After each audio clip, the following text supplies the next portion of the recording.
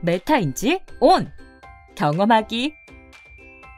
진자운동 구슬을 만들어 진자운동을 경험해요.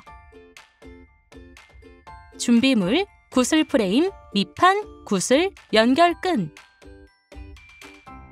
밑판 구멍에 구슬 프레임을 끼우고 꾹 눌러요.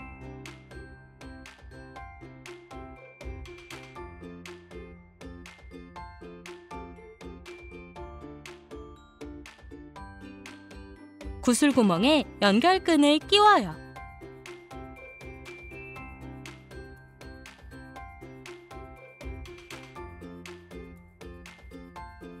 연결끈 양 끝을 프레임에 끼워요.